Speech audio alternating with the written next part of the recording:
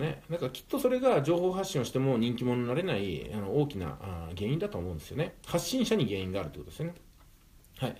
で、えっ、ー、とね、あのいろんな問題は当然あると思うんですよ。いろんな問題が起きると思います。これ2つ目ですよ、今日のテーマの。あの問題が起きてそれに対処するっていうのはあの人としては当然のことだと思うんですけどもあの問題が起きて対処するのってものすごくねあの無駄なんですよ無駄な努力といいますかね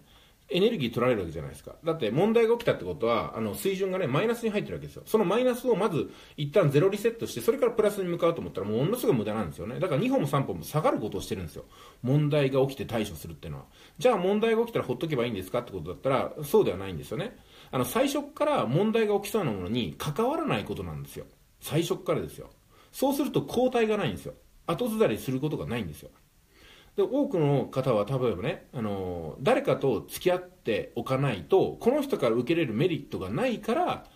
デメリットももう抱き合わせで受け取ってしまうんですけどもね。問題が起きそうだったら最初からね、あの関わらなければいい話なんですよ、うん、それこそねあの Facebook を全くやらないとかって言ったら Facebook で嫌なメッセージ来ることもないですからね。LINE とか Twitter でなんか見るたんびになんか気持ちが落ち込むっていうんだったら見なければいい話なんですよ。で問題を最初からあ問題に最初から関わらないとね。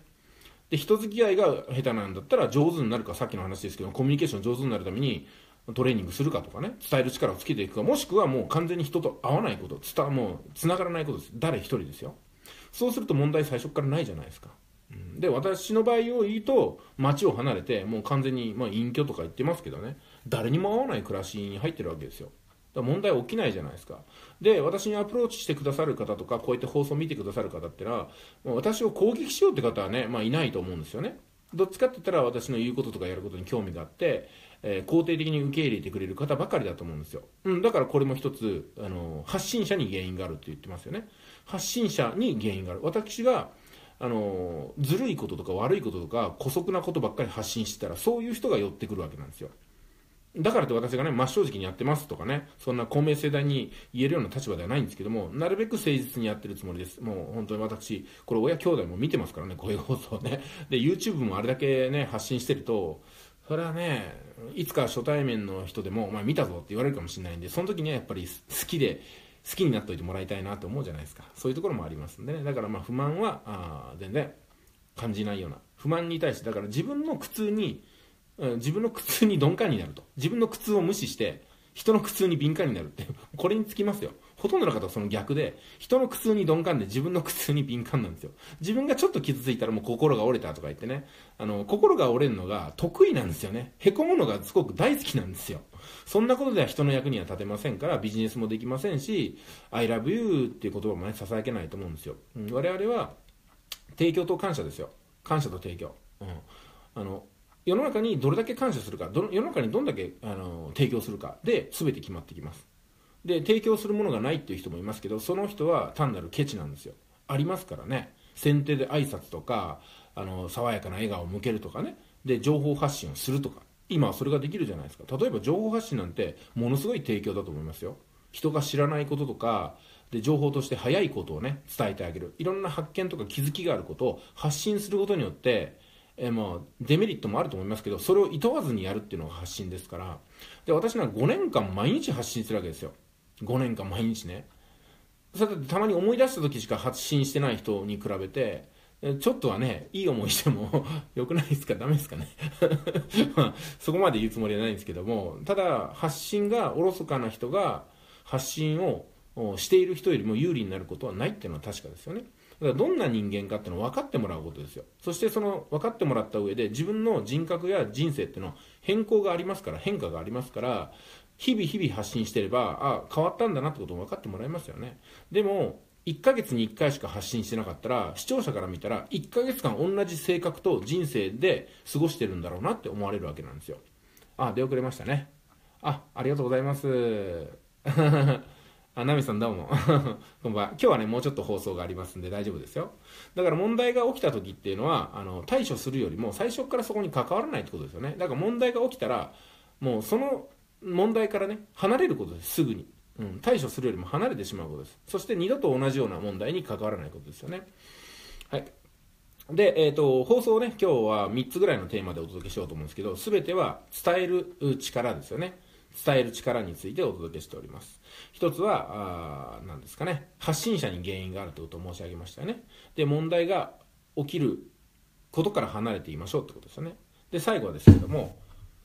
自分が自分にえー、どれだけ伝えられてるかなってことです。自分のことを自分がどれだけ受け取れてるかなってことですよね。ここがあ今日のねお話の肝になってきますけども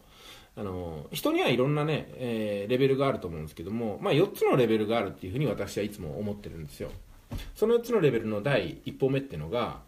まあ、あの分かってないっていうことが分かってないという人。これねあのそんな人いるのかなと思ったらほとんどがこの人ですからね。ほとんどが自分が分かってないってことが分かってないんですよ、うん、だから自分は十分できているから、ね、自己肯定感すごく強いんですよ。で自分の意見を、うん、まあねあのお話しするのは全然いいんですけどもすぐにね口論をするんですよ。自分が正しいと思ってね。口論に口論をかぶせて口論に勝つことがいつの間にか目的になってしまうんですよ。でも口論に勝っても真実は何も変わってないですからね。もちろん自分の意見と真実がイコールならいいんですけども大抵そんなことがないんですよね。だからこれがね分かっちゃいないってことが分かっていないっていう人の特徴です。非常にこれ多いですよ。あのー、最近もビットコインとか暗号通貨とかねあのぐーっと急騰して値下がりしましたよね。そしたら途端にですねこれ分かっていましたみたいな人がいますよ。で原因はこれですとか言いますけどもそれは後からそういうことを言う人がいるだけで分かるわけないじゃないですか。あのはばかりながらあの暗号通貨に関しては私はもうね、毎日動画で発信してるくらいですけども うん、結構ね、詳しいけど分かんないです。暗号通貨。なぜ分かんないかっていうと、歴史が浅いんですよ。暗号通貨っていうのは。歴史が浅すぎて、分かりようがないんですよ。通常分かるとか予測とかね、確率とかいうときは、その一つのものとかことが、それまでどんな歴史を積み上げてきたのかってことを精査しないと論じれないんですよ、未来が。例えば、あの、えーと、東京オリンピックがね2020年にありますけどもね、えー、こういうふうに東京オリンピックがあ企画されて予定されて開催されなかったことっていうのは過去の歴史を見れば分かるわけなんですよ。そしたら今度東京オリンピックがありそうだけども本当にそれがあるのかないのかっていうふうに例えばね確率論とか期待値で話せば、まあ、ほぼ100%ってことが分かりますよね。うん、それと同じように暗号通貨も今までの歴史がなさすぎるんでどんだけ調べても出てこないんですよ。断片的なものとかねあの個人的な予測っていうのはいっぱいありますよ。でも根拠がないと。なぜなら管理してる人がいないからなんですよ。この管理してる人がいないってことが根拠をものすごく薄くしてますしあとね責任を分散してるから誰も取りようがないってこともあります、えー、まあ、ブロックチェーンっていうものが組み込まれたあのビットコインっていうのがね代表的なものですけどもはい、分からないことを分からないと言える人は素晴らしいですよね。そうなんですよ。あのこれもちょっとね続きでお話ししますけどもあの暗号通貨ってものがねブロックチェーン元に作られてますけどもあのこれがねあのメリットといえばメリットなのかもしれないですよ。あの誰も管理してないっていうのが、うん、でもやっぱりあの中央銀行が管理することによって得られるメリットっていうのは計り知れないわけですよ。だって投資をちゃんとやってない人っていうのはこの辺が分かってないんで暗号通貨で投資だとか言ってる人もね運用だとか言ってる人もまあいますけどもあのもしかしたらこれね完全に言っちゃってるかもしれないです、うん、本当に。あの失礼なこと言うかもしれないですけどもちょっと見直した方がいいですね。あの暗号通貨っていうのはあの、まあ、ボラティリティがあるんでねこうやって上下が。すごく大きいんで投資のように見えますけどもただそれがどうなるのかっていう蓋然性が誰にも測れないんですよ。だって今回の暴落だって誰も予測してなかったですから、ね、そのまんま上がり続けるのかなと思った人いると思いますけども今日落ちるんじゃないかなっていうふうに事前にレポート出した人はいないですよね。だってその今日だけ見ても昨日今日だけ見てもフェイスブックで分かってましたみたいなことを言う人いるんですけどもじゃあなんでそれをね分かっていたんだったら23日前にやらないんですかってことなんですよ。結局起きた事実をもとにあの起きる前のことをいくつかあ予測はしてるんですよ皆さん。皆さん予測はしてるんですけど予測の当たったものだけを持ち出してこれが当たったんだっていうだけでですね。予測は誰でもするんですよ。で、えーと予測っていうのは当たるか当たんないか分かんないでは意味がないんですよ。たまに当たるけどねみたいな。予測してあお疲れ様です山崎さん。たまに当たるでは意味がないんですよ。いつも当たらなければ予測ではないんですよね。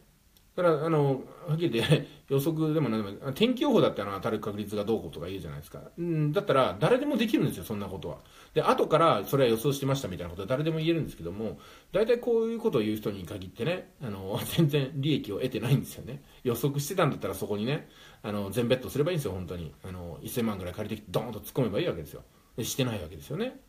うん。あ関さんお疲れ様です。関さんやりますねなかなかね。で、お伝えしようとしてるのは、あちょっと話が脱線しましたけども、最初のレベルっていうのは、自分が分かってないってことを分かってないって人がものすごいいるってことなんですよ。